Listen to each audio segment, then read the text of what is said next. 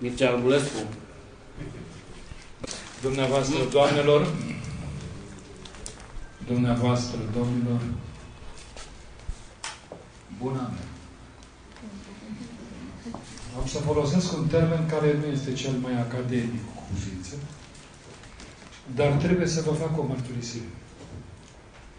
Dumneavoastră, doamnelor, dumneavoastră, domnilor, sunt cuprins de o stare excepțională.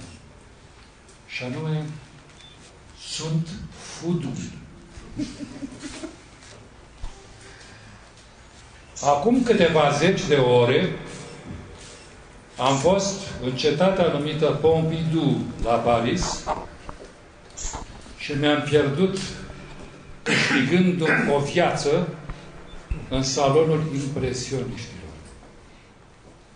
Niciodată nu am văzut atâtea pânze adunate la un loc. Am fost uluit. Deși sunt îndrăgostit de dânsii și am urmărit cât am putut. Dar dintr-o dată, la un loc, nu mi s-a mai întâmplat. Iar faptul că sunt futul e un cuvânt românesc. Luați-l așa cum vi l-am spus eu. Este faptul că datorită acestei femei minunate, pentru care și acest ghinion, să arate așa cum arată. De multe ori vedeți opera unui artist plastic și când îl vedeți pe el, Doamne Dumnezeule, mai bine nu-l vedem. Da, da, da. Luați înapoi cărțile și veți vedea care sunt aceia. De data asta este o concurență între dumneavoastră și opera dumneavoastră. Uh, eu nu sunt uh, critic de artă plastică, nici măcar critic numis. Sunt un truditor. E adevărat, de vreo 60 de ani tot trudesc uh, pe scenă, dar în același timp am avut bucuria să mă familiarizez în primele zile ale devenirii mele cu ceea ce se chema schița de decor, care mai târziu se vedea că nu se mâna deloc cu decorul care va fi.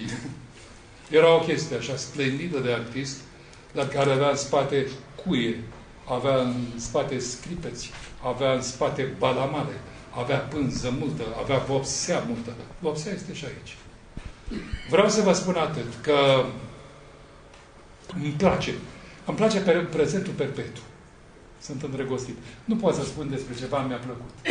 Știi, una mea, mi-a plăcut de dumneavoastră, dar mâine nu știu ce se va întâmpla. Nu, nu, nu.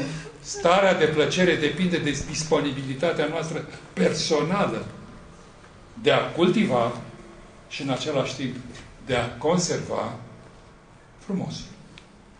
Iată un prilej în această după-amiază spre seară, ca să ne reîntâlnim cu un om frumos, care se îndeletnicește cu frumosul, făcându-ne să ne simțim mândri că putem descifra și că putem trăi, dând viață nevieții de pe pânză. Mulțumesc foarte mult că am fost invitat.